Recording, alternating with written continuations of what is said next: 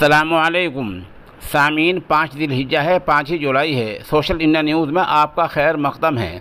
ख़बर का उनवान है तालिब हुसैन गिरफ़्तार। मामला ज़िला संबल का है। उत्तर प्रदेश के ज़िला संबल में वाक़ रेस्तरान के मालिक तालिब हुसैन को गिरफ़्तार कर लिया गया है। तालिब हुसैन पर मजहबी जज्बात को ठेस पहुँचाने और मजहबी जज्बात को मजरूह करने का इल्ज़ाम लगा है। उनके ख़िलाफ़ एफ़ आई आर भी इन्हीं दफ़ात में दर्ज की गई है और उनको पुलिस गिरफ़्तार करके ले गई है। संबल के सीईओ जितेंद्र कुमार ने सहाफ़ियों को बताया, जानकारी मिली थी कि रेस्तरा मालिक